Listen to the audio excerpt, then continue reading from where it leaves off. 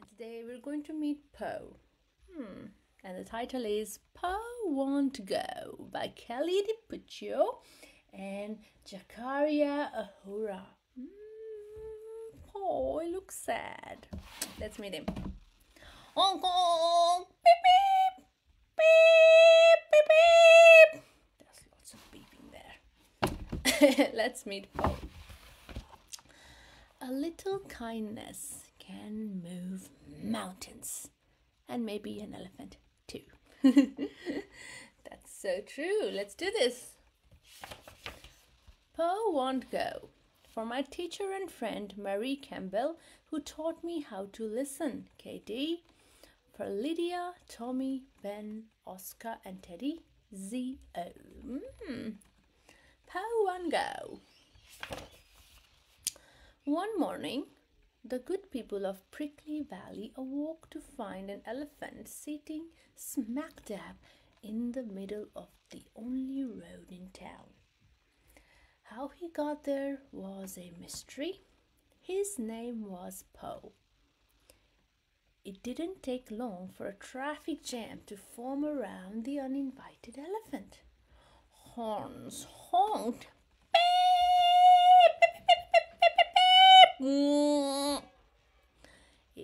People yelled from their cars.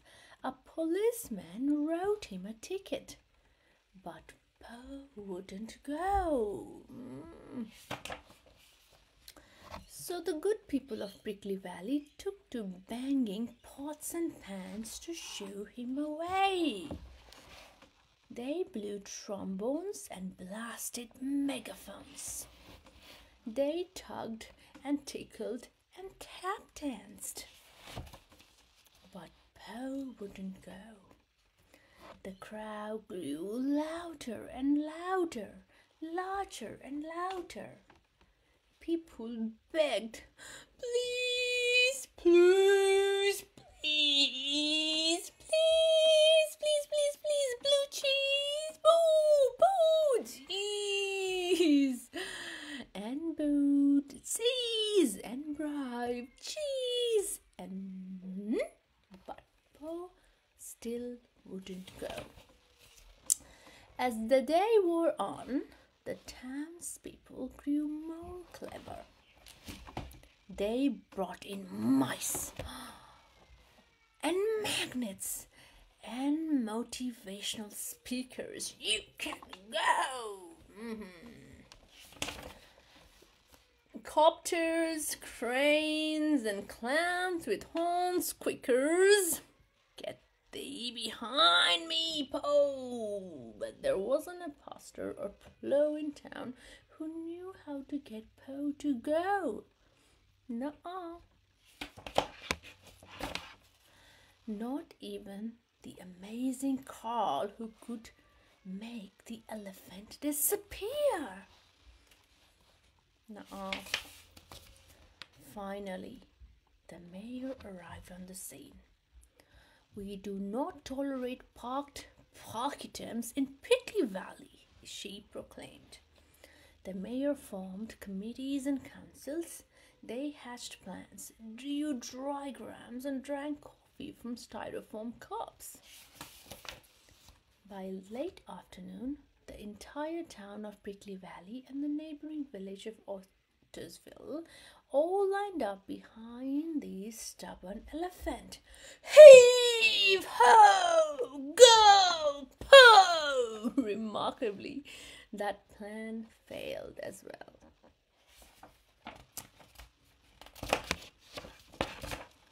As did this one. And that one. Eee!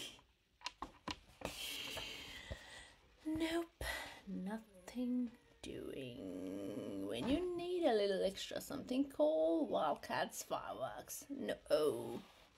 Seriously, catch me if you can, Poe. the townspeople were fresh out of ideas. And Poe, well, you know.